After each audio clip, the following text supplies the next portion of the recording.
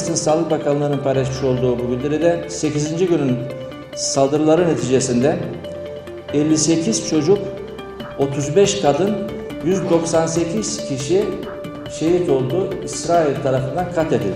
Osman Gazi Belediye Meclisi tüm e, üyeleriyle birlikte İsrail'in yapmış olduğu çocuk kadın demeden bu katliama karşıdır. Bunu kınıyordur, lanetliyordur.